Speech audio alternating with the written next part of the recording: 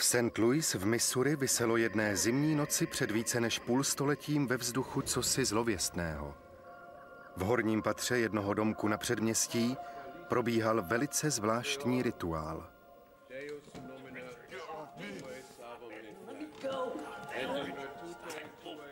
Katoličtí kněží se modlili nad křičícím a klejícím chlapcem, o kterém se domnívali, že ho posedl ďábel.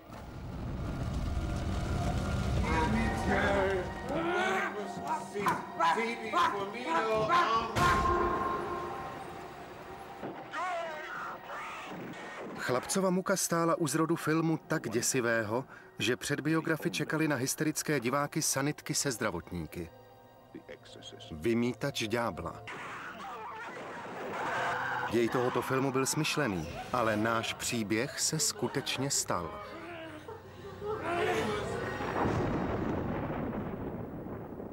Opírá se o dávno ztracené zápisky a o vzpomínky jednoho starého kněze, který byl přitom.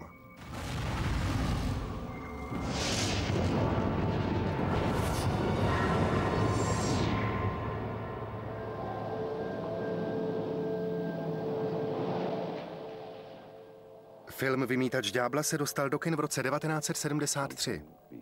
V tomto domě na této ulici se s jednou malou dívenkou děje něco, co je nad naše chápání. Jako poslední možnost byl povolán muž, který se má pokusit o její záchranu.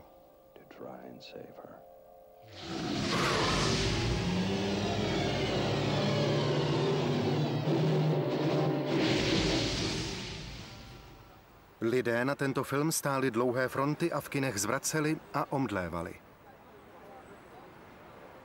Houfně se vraceli k víře.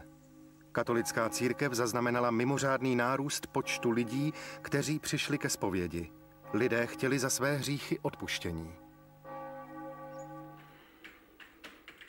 Spisovatele Williama Petra Blettyho, který k tomuto filmu napsal scénář a předtím i románovou předlohu, tato reakce překvapila. Věřící, ať už věřili hodně nebo málo, si najednou uvědomili, že možná démoni skutečně existují a že by je nakonec za jejich hříchy mohl stihnout opravdu trest. Příběh kněze, který vyžene satana z dítěte plného zloby, vycházel ze skutečného případu vymítání ďábla, ke kterému došlo v roce 1949. Vymítačem byl 52-letý římskokatolický kněz v St. Louis v Missouri. Otec William Bowdern byl svou láskou k lidem přímo pověstný.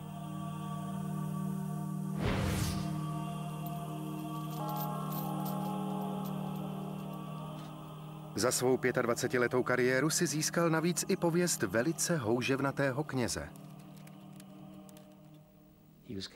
Byl to takový bulldog.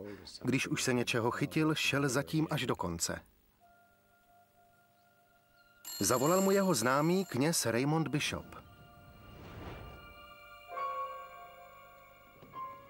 Ten mu vyprávěl zdánlivě neuvěřitelný příběh. Jistá žena měla podezření, že jejího dospívajícího syna posedla nějaká zlá síla.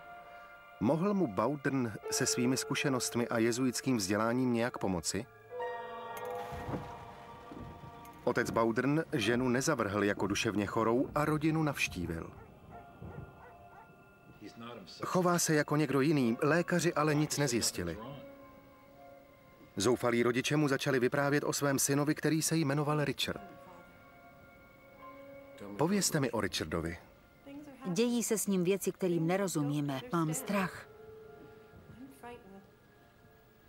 Baudrn ji v klidu požádal, ať začne od začátku.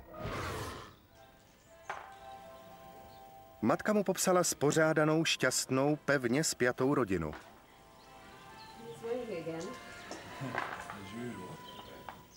S Richardem, jejich jediným dítětem, nikdy žádné problémy nebyly. V lednu k nám přijela na návštěvu moje švagrová Mily. Měli k sobě s Richardem od jak živa velice blízko. Naučím tě zacházet se spiritistickou tabulkou. Přinesla mu takovou tu spiritistickou tabulku. A teď nech duchy, ať s ní pohybují. Takhle? Přesně tak. Milly s Richardem se prostřednictvím tabulky snažili celé hodiny navázat kontakt s duchy ze záhrobí. Podle spiritualistů nejen, že po smrti přechází duše do jakési posmrtné životní fáze, ale navíc živí mohou s mrtvými komunikovat. 15. ledna se objevilo první záhadné znamení. Nepřetržitý zvuk kapek. Ozýval se pravidelně sedm nebo osm nocí za sebou.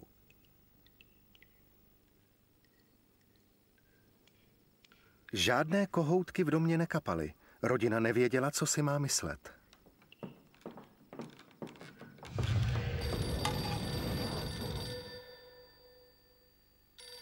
26. ledna se rodiče dozvěděli, že Milly z ničeho nic zemřela. Nic jí nebylo, nečekali jsme to. Pro Richarda to byla rána. Bylo to poprvé, co mu zemřel někdo blízký.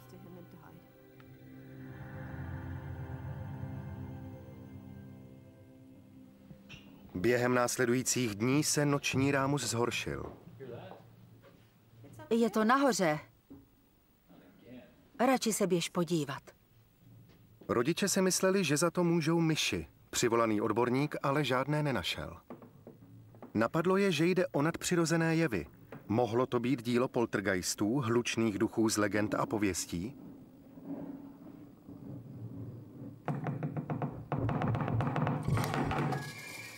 Napadlo mě, že se s námi ze záhrobí možná snaží navázat kontakt Mily, která se věnovala spiritismu. Jednou v noci se třásl na stěně svatý obrázek, jako kdyby do něj někdo z druhé strany tloukl. Richard si s námi ale nezahrával, byl v posteli. Začíná to celou řadou úkazů, které se dají popsat jako možná činnost poltergeistů. Údajně přitom létají po místnosti předměty. Prý se také ozývají záhadné zvuky, které si lidé nedokáží vysvětlit.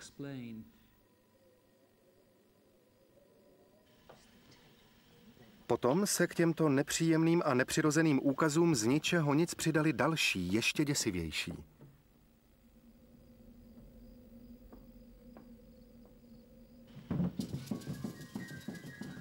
Mami! Mami! Mami! Pro boha, Richarde! Williame, pomoc!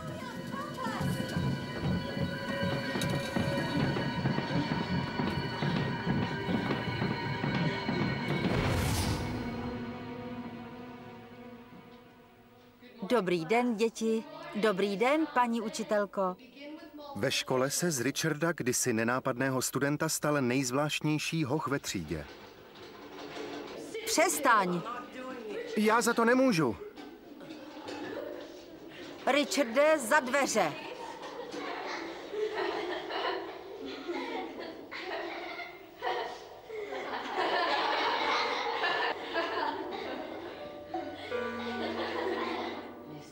Já jsem to nedělal. Nádech? Šli jsme s ním k doktorovi, nic nenašel. Richard byl podle něj prostě přecitlivělý. Pojem přecitlivělost se používá i dnes, ale nespojuje se s ním dobrý duševní stav. Takto označený člověk trpí stavy úzkosti a někdy i depresemi a v každém případě bývá podrážděný a má strach. Teď ti přečtu několik slov. Rodiče se obrátili na psychiatra. Vidlička, lžíce.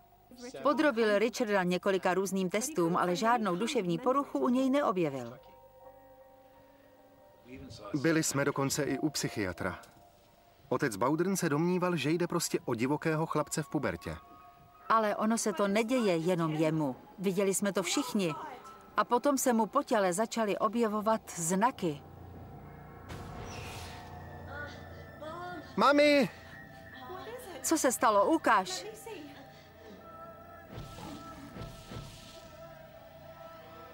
Začalo to 26. února, měsíc potom, co zemřela Milly. Několik dní jsme se snažili navázat s Milly kontakt prostřednictvím spiritistické tabulky. Na tuto teorii přistoupila celá rodina. A když teta zemřela, čekali všichni, že s nimi ze záhrobí nějak naváže kontakt. Jestli si Milly, dokaž to nějak.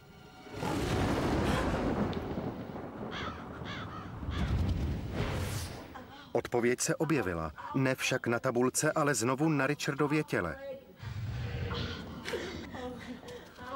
Už zase, Richarde?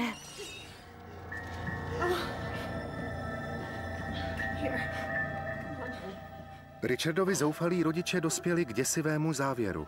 Jejich syn je možná ve spárech démonických sil.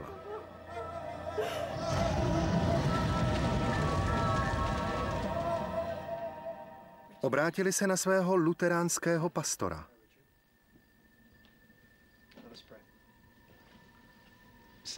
Psychiatrie a lékařská věda jim na otázky odpovědět nedokázala a Richardovo chování se nezměnilo ani v nejmenším.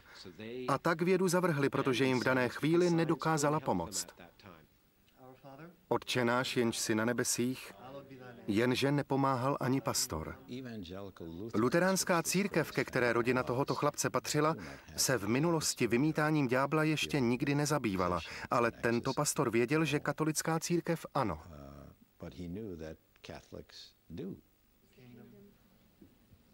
A proto poradil rodičům, ať se obrátí na katolického kněze. Když se na tento případ podíváme tak, jak se často prezentuje, na první pohled se vyznačuje celou řadou příznaků spojovaných s případy posednutí dňáblem.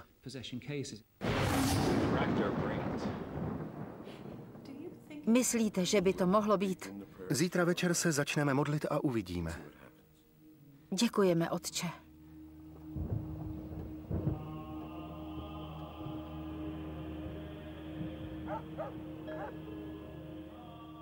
Následující den se otec Baudern vrátil k Richardovi domů. Tentokrát sebou ovšem přivedl svědka, kněze, na kterého se rodina obrátila. Otce Raymonda Bishopa.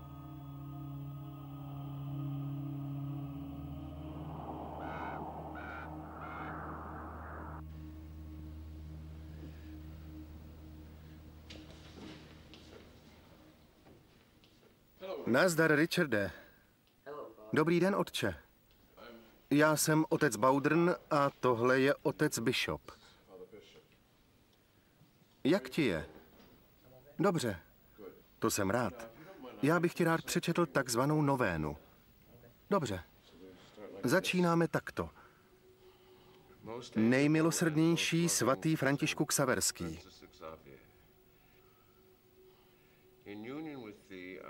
Au, au. Co se děje? Bolí mě na prsou. Pro boha.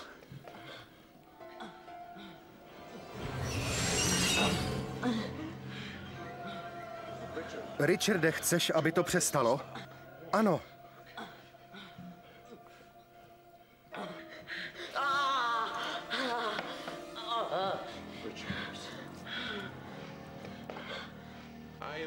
Snažně prosím, sešli nejvyšší požehnání, život a smrt v božím milosrdenství.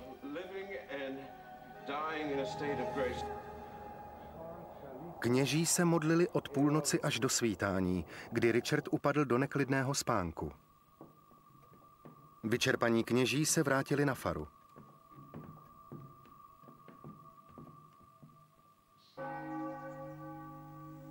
Další den dospěl Baudern k neblahému závěru.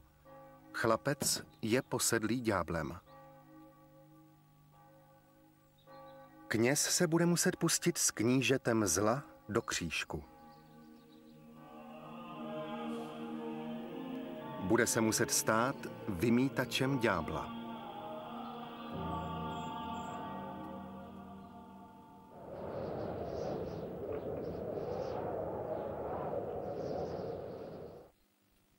Otce Williama Bauderna čekala role klíčové postavy skutečného dramatu, které dalo později vzniknout filmu Vymítač ďábla. Pro válečného veterána nebyla smrt a zkáza ničím novým. Něco takového, jako byl tento zmítající se, klející chlapec, který jakoby nesl znamení ďábla, ale nečekal. Šel si od arcibiskupa ze St. Louis vyžádat povolení k použití vymítacích modliteb, o které každý musí požádat. Nikdo nemůže jít z někoho jiného vymítat ďábla jen tak. Arcibiskup měl jedinou podmínku – Řekl mu, že chce z každého dne podrobný zápis všeho, co se dělo a co kněz dělal.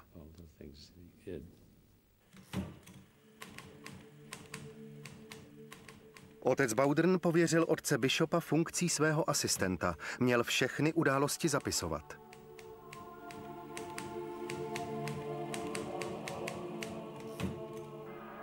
Baudrn se nyní musel naučit postup tohoto zvláštního a jen zřídka kdy využívaného rituálu. Hledal ho ve spise Rituále Románum, tedy ve 400 let staré latinské knize rituálů katolické církve. Na jeho stránkách objevil návod, jak při vymítání postupovat. Znamení posednutí jsou tyto. Posedlý dokáže mluvit zvláštním jazykem. Mluví o tajných věcech nebo věcech, které se teprve stanou. A vykazuje sílu nepřiměřenou jeho věku.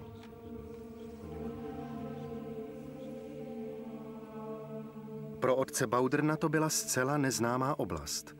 V řadách americké katolické církve ve 20. století o vymítání téměř nikdo neslyšel. V 90. letech vznikly ve Francii drastické videozáznamy, na nichž je údajně zachyceno vymítání ďábla členy podivné náboženské sekty, která se odštěpila od katolické církve. Jednalo se o skutečně posedlé osoby nebo o duševně choré. V katolickém Španělsku církev povolení k vymítání čas od času vydává. Mezi vymítače patří i otec José Fortea.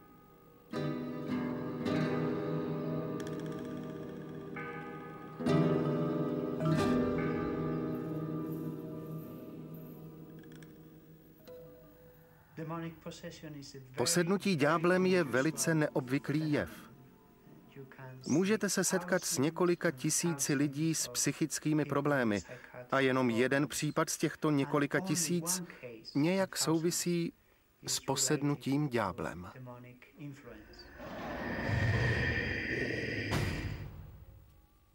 V St. Louis otec Baudern dospěl k názoru, že v jeho případě jde skutečně o posednutí dňáblem. Podle postupu vylíčeného v rituále Románum se připravil na souboj. Kněz nechť pronáší vymítací modlitby rozhodným hlasem. Měl by mít při ruce krucifix. Když si všimne, že daná osoba zaznamená v některé části těla obtíže, poznamená dané místo znamením kříže a pokropí je svěcenou vodou, kterou má za tímto účelem připravenou.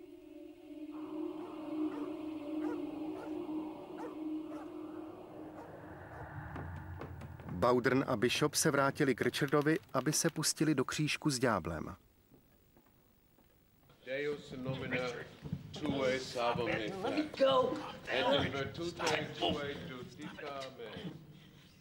Otec Bishop píše, rozdával rány silou větší, než jakou by měl mít malý chlapec.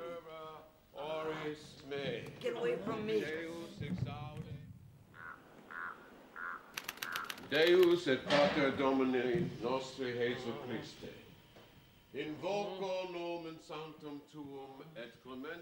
Modlitby pokračovaly několik hodin. Potom, chvíli před jednou hodinou raní, otevřete okno. Vypadalo to, že bude zvracet. Už jde, už jde. Kdo jde? Co se děje?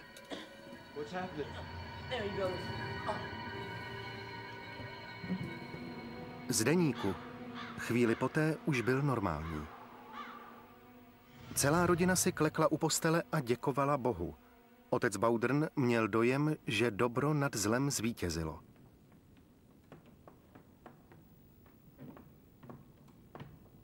Ve spise Rituále Románum ovšem stojí varování.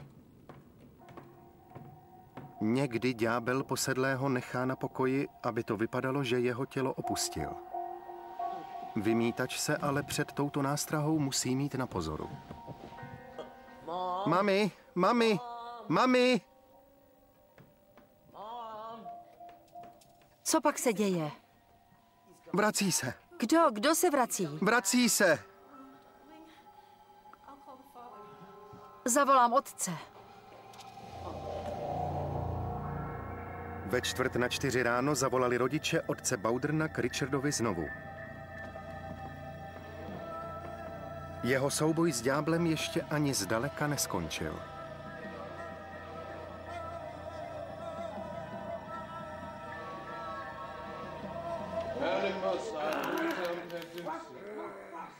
Z neděle 20. března je v deníku zápis. Richarda se zmocnili záchvaty ve čtvrt na devět večer a byli silnější než kdykoliv předtím. Vypadalo to jako dílo ďábla. Lékaři by ale mohli mít vysvětlení jiné. Kromě toho, že by si Richard tímto způsobem mohl s ostatními jen zahrávat, ještě bylo možné, že měl záchvat spánkového laloku. To je jedna z podob epilepsie. Poruchy elektrické činnosti mozku při ní vyvolávají chronické záchvaty. Pacienti s těmito záchvaty mohou trpět halucinacemi a přeludy.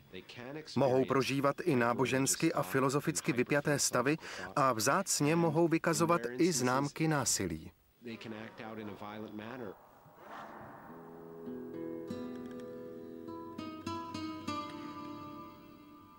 Může ale v této chorobě mít prsty ďábel? Španělský vymítač otec Fortea se domnívá, že lidé postižení touto chorobou mohou být také posedlí démony.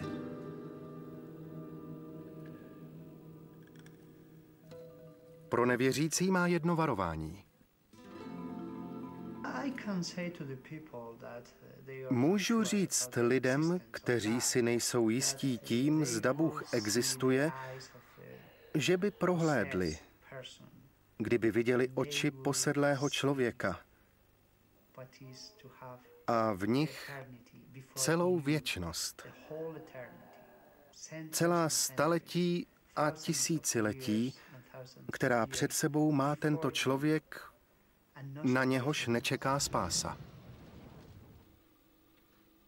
Věřícím člověkem je i spisovatel William Peter Blatty. Když jsem to psal, byl jsem přesvědčený, že tomu tak skutečně je. Proto jsem to také dokázal napsat pro čtenáře tak přesvědčivě, aby o tom byli lidé stejně přesvědčení jako já.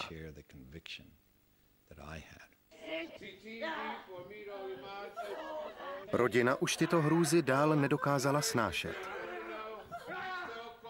Otec Baudrn se rozhodl k drastickému kroku popsanému v rituále Románum. Pokud je možné to provést bez větších problémů, měla by být posedlá osoba přemístěna na vhodné místo, kde vymítání nebudou mít na očích nezúčastnění lidé.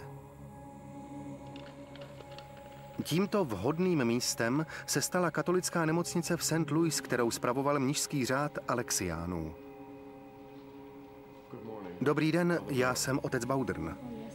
Dobrý den, otče, už na vás čekáme. Touhle chodbou doleva, pokoj 26.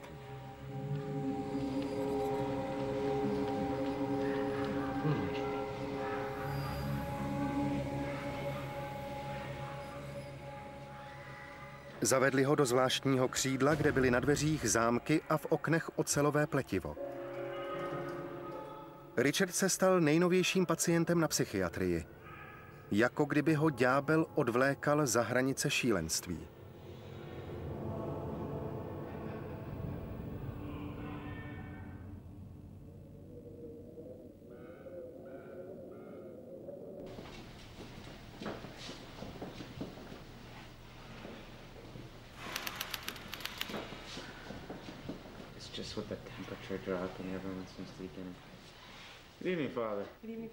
22. března roku 1949 otec Baudrn si do boje s ďáblem povolal posily.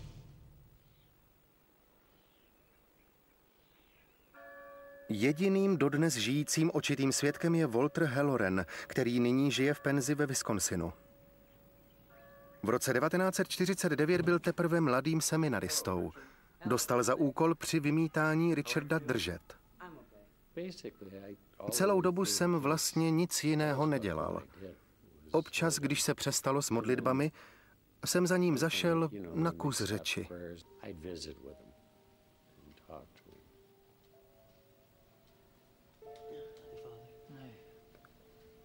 Mohl bych dostat vodu? Ano. Díky.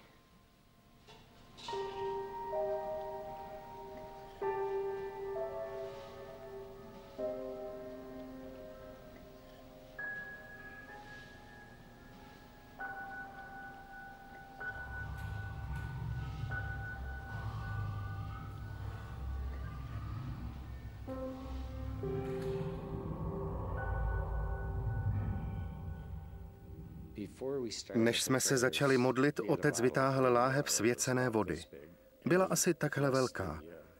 Tou vodou tomu chlapci požehnal a potom se otočil a postavil ji na stolek u postele.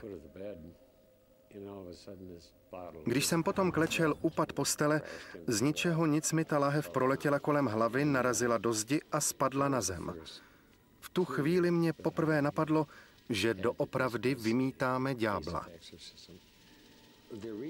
Nedalo se to nijak vysvětlit.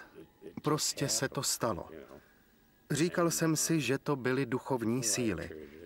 Metr a půl kolem té lahve nikdo nestál.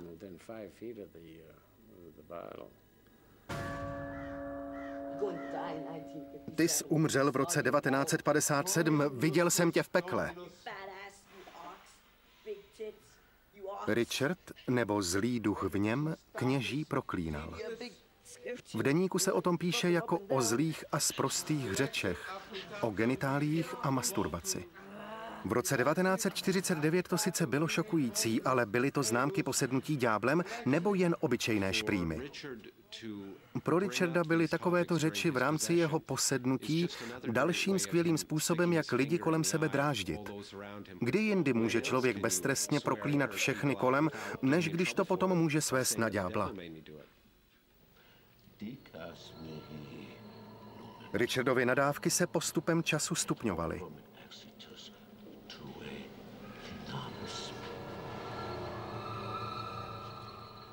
Strč si to do...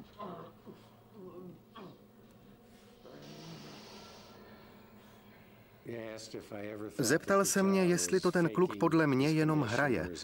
Mně by něco takového ani nenapadlo.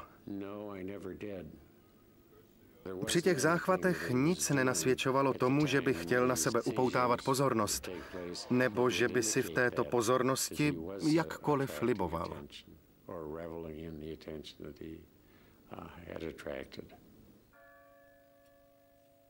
Otec Baudrn začínal na základě spisu Rituále Románum pochybovat o něčem jiném. Vymítač by měl mít určité předem popsané předpoklady. Kněz musí být mimořádně zbožný, rozvážný a čestný. Baudrn si najednou nebyl jistý, jestli na boj se satanem stačí.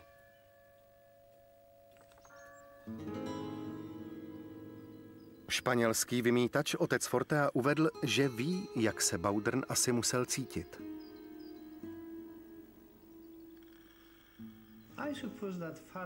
Předpokládám, že musel mít otec Baudrn na poprvé strach, protože když někdo poprvé vymítá ďábla, bojí se, že se může stát něco, na co nebude připravený. Může se stát cokoliv.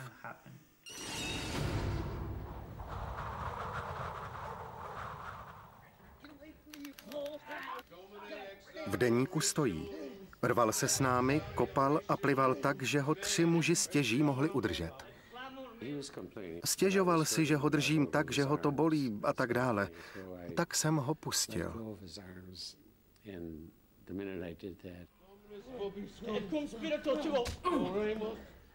A on mě praštil. Otče, není vám nic? Richarde! Co se stalo? Nic, to jsem si udělal sám. Richard jakoby o ničem nevěděl. Rodina trpěla a kněží byli na pokraji vyčerpání. Baudern přes den plnil své kněžské povinnosti a o bizarním nočním rituálu nikomu neřekl.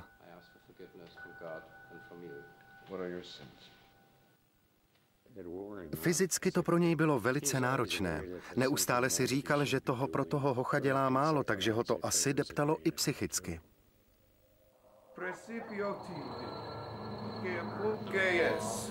Spiritus Mundi et omnibus socialis tuis hoc de famulum occidentibus ut per mysteria passiones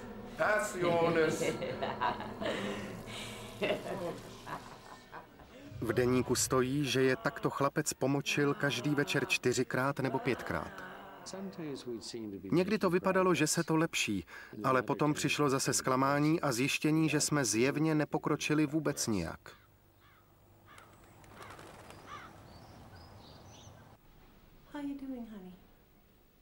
Richardova matka zvažovala, že vymítání ukončí a odvede syna domů.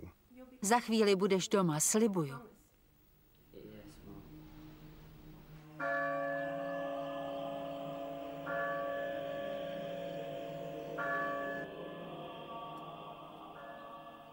Otec Baudrn slábl hlady a únavou. Nechť nad ním zvítězí naše modlitby a půst. Prosím tě, Bože, o pomoc při vyhánění démonů. Vím, že celou tu dobu držel půst a pořád se modlil. Říkal, že víc není v našich silách. Tento podivný rituál postupně začal vykazovat opakující se znaky. Richard sebou zmítal intenzivněji pokaždé, když Baudern vyslovil jméno Boží.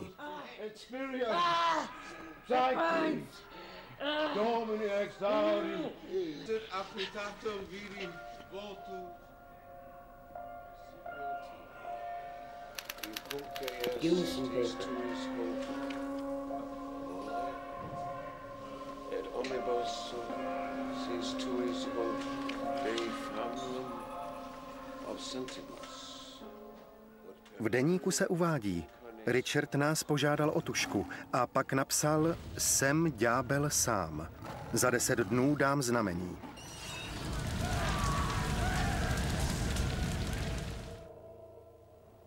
Jaké znamení? Baudern to nevěděl a ptát se nehodlal. V rituále Románum se jasně píše Nepouštějte se se satanem do rozhovoru.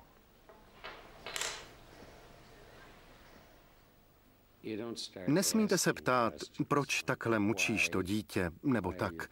Musíte se pořád dokola modlit.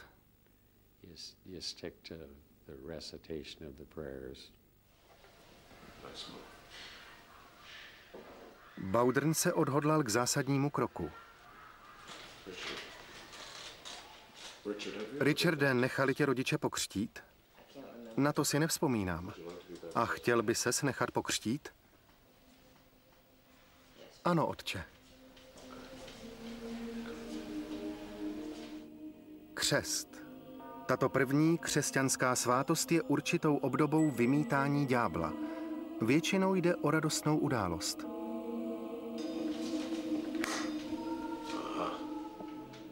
Richardův křest měl ovšem probíhat hrozivě.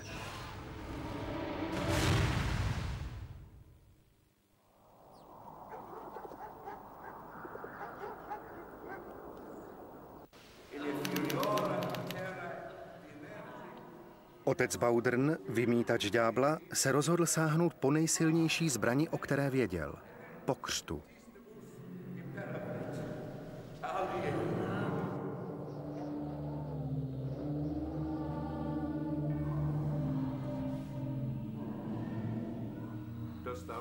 Zříkáš se satana? Baudrn se takto ptal stále znovu a znovu. Zříkáš se satana? Zříkáš se satana? Zříkám.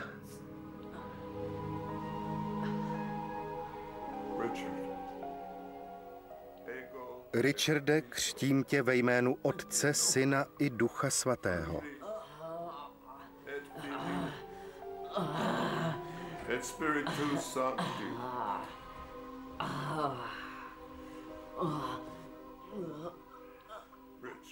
Richarde, křtím tě ve jménu Otce, Syna i Ducha Svatého.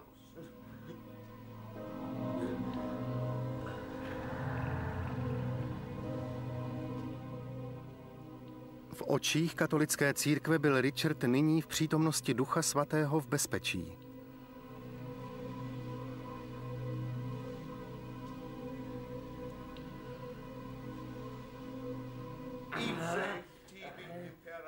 Vypadalo to ale, že se ďábla ještě porazit nepodařilo.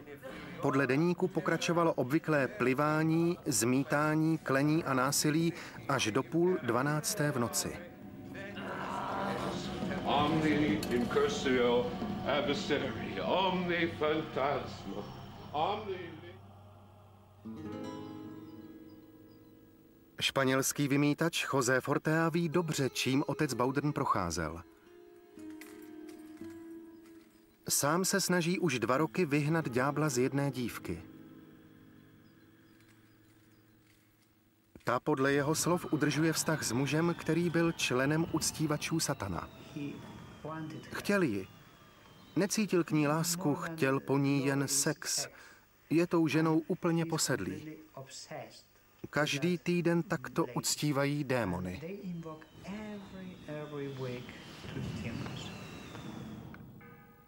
Výsledkem je to, že se o dívku přetahují duchovní síly. My pár démonů vyženeme a oni je zase přilákají zpátky. Španělský vymítač vidí v případu z roku 1949 zarážející podobnost. V obou šlo o vyvolávání zlých duchů. Četl jsem, že v té rodině někdo používal spiritistickou tabulku. To je velice nebezpečné, stejně jako jakékoliv čarování, spiritualismus nebo vyvolávání neznámých duchů. Pokud se moje duše nebo vědomí dá odpoutat od mého těla, zvyšuje se tak pravděpodobnost, že moje tělo může ovládnout něco jiného. Tak vznikla myšlenka posednutí. Je to také cosi jako odvrácená strana víry v posmrtný život. Ta je sice převážně pozitivní, ať už je pravdivá nebo ne, protože nám pomáhá přemáhat strach ze smrti.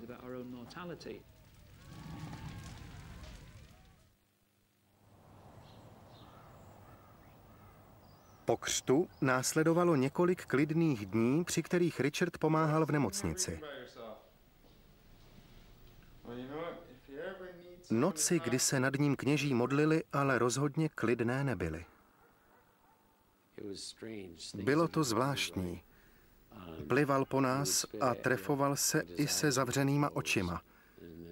A když mě chtěl se zavřenýma očima uhodit, vždycky se přesně trefil.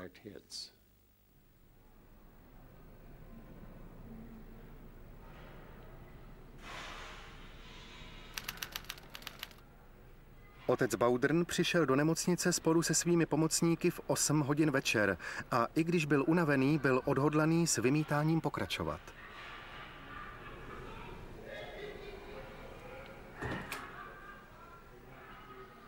Dobrý den, Richarde. Dobrý den, otče. Jak ti je? Dobře. Růženec? Otče náš, jenž jsi na nebesích, posvěť se jméno tvé. Co se děje, Richarde? Do prsou měl vyryté tiskacími písmeny slovo odchod.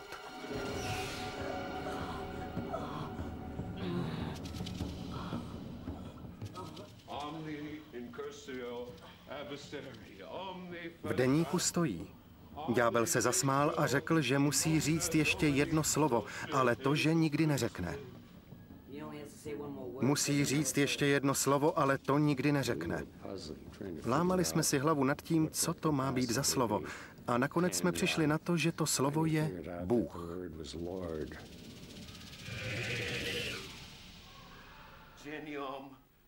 Kněží pronášeli boží jméno stále znovu a znovu a Richard byl čím dál divočejší, téměř na pokraji delíria. Podle deníku viděl Richard svého archanděla Michaela. Jeho ústy nakonec tento anděl promluvil. Satane, já, svatý Michael, ti přikazuji opustit toto tělo. Ve jménu páně, okamžitě, teď hned, teď hned. Richard později popisoval scénu, ve které ďábel zápasil s andělem v ústí jeskyně plné ohně. Anděl zvítězil a ďábel se stáhl zpátky do plamenů. Je pryč.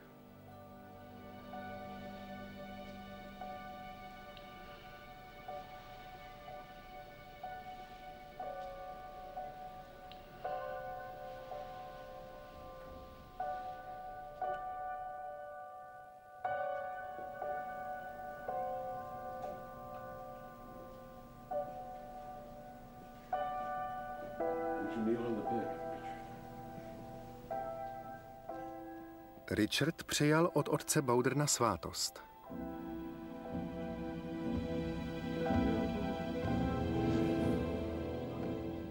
Krátce poté slyšeli všichni v nemocnici hlasitou ránu. Otřes ale nikdo necítil a nikde nebyly známky žádného výbuchu. Slyšeli ho i lidé v kostele přes ulici. Potom zhasla všechna světla a když se znovu rozsvítila, Richard se posadil a řekl, že je to pryč.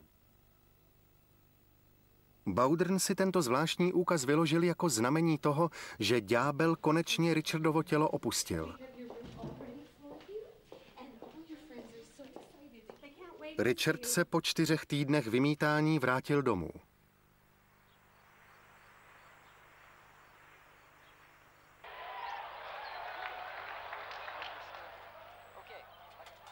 Byl opravdu posedlý dňáblem, nebo to byly jenom halucinace? Třeba si to celé vymyslel. Toho hocha, kterého se ten případ týkal, možná napadlo, jak snadno by si mohl ze všech vystřelit. A převážnou část této situace tak možná vyvolal záměrně. Jedná se podle všeho o případ, který vešel do dějin jako klasický případ vymítání ďábla, ale když se na něj podíváme pořádně, důkazy příliš přesvědčivé nejsou.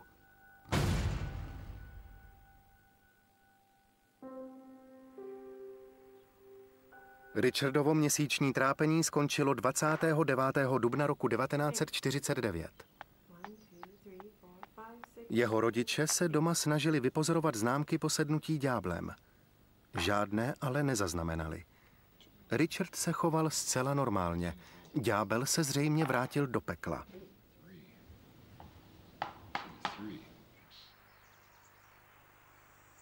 Otec Baudrn se vrátil ke svým povinnostem a o vymítání se s nikým nebavil. Když se o několik let později spisovatel William Peter Bletty chystal napsat knihu Vymítač ďábla s otcem Baudernem si začal dopisovat. Kněz se s ním odmítl setkat osobně. Řekl, že mi může říct jediné, že v tomto případě se jednalo skutečně o posednutí ďáblem, že o tom nepochyboval a že je o tom přesvědčený i teď. Jsem si jistý, že Richardova situace a všechno, čím přitom prošel, nebyla nijak nahraná. O žádnou přetvářku z jeho strany se nejednalo. Také je možné, že si Richard představu o tom, že ho posedl ďábel, vsugeroval sám za přispění své rodiny, která vyznávala spiritualismus, a za přispění kněžích, kteří se z něj snažili ďábla vyhnat. U těchto případů je docela možné, že si kněží sami ani neuvědomují, do jaké míry svým chováním celý průběh situace ovlivňují. Mohou jej ovlivňovat tím, že podvědomně dávají najevo, jaké chování dané situaci odpovídá a působí na chlapce tak dlouho, dokud se s tímto chováním skutečně nesetkají, což je utvrdí v domění, že jde skutečně o daný případ. A přitom si ani neuvědomí, jak se na jeho vzniku podíleli sami. Jak ale vysvětlit zápisky v deníku a podrobně vylíčené otřesy postele a předměty létající vzduchem? Z nesmírně rozsáhlých zkušeností ohledně spolehlivosti svědků víme, že očitá svědectví nebývají příliš přesná. Nikdo se nesnaží klamat záměrně. Lidé jsou přesvědčení o tom, že mluví pravdu. Zcela upřímně líčí to, co si myslí, že viděli. A nápisy na Richardově kůži byly dílem ďábla, nebo si je vytvořil sám? Možnost psát na kůži se nazývá dermatografie a vyskytuje se při stavech zvýšené úzkosti. Tehdy stačí přejet nechtem nebo jakýmkoliv předmětem, třeba perem nebo trnem po kůži, a kůže v daném místě zduří a vytvoří jakýsi plastický nápis. Je možné, že se Richard jen snažil na sebe upoutat pozornost? Podle mého názoru to celé začalo jako nevinné zlobení 14-letého kluka. Ale když se do celé věci zapojili kněží katolické církve, nezbývalo chlapci, než to celé dotáhnout do konce. Nejde v první řadě o to, zda v roce 1949 šlo skutečně o posednutí dňáblem. To samozřejmě nevím. Otázkou zůstává, jestli o posednutí mohlo jít. Není to zajímavá myšlenka? Příběh o vymítání se brzy roznesl, dostal se do novin a kněžím přinesl pozornost, o kterou nestáli. Když to všechno skončilo, začali mi volat lidé, nějaká žena chtěla vymítat ďábla ze svého manžela, někdo jiný ze svého psa. Různé takové hlouposti. O Vánocích roku 1973 byl uveden do kin film Vymítač ďábla a na Washingtonskou katolickou církev se obrátilo 40 lidí se žádostí o vymítání.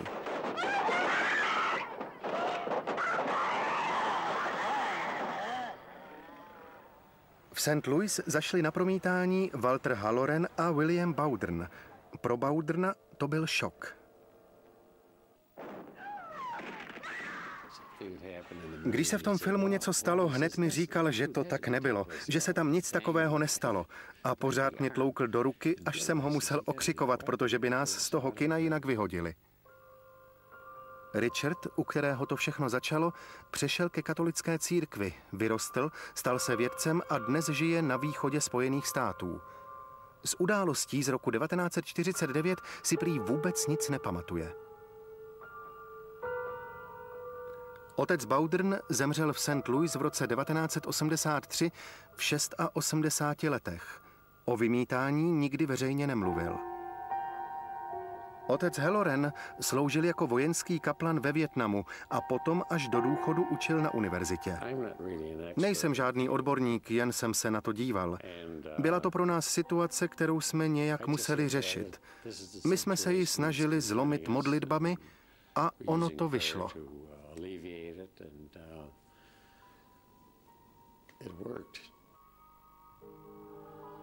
V roce 1999 385 let po sepsání spisu Rituale Romanum Vatikán vydal úpravy, podle kterých se kněží mají přesvědčit, že ve skutečnosti nejde o fyzickou nebo duševní chorobu.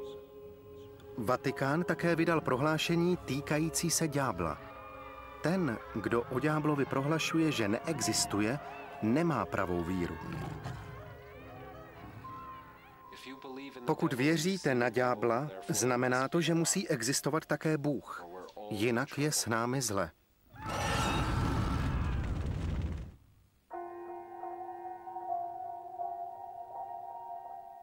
České znění vyrobila společnost SDI Sun Studio v roce 2007.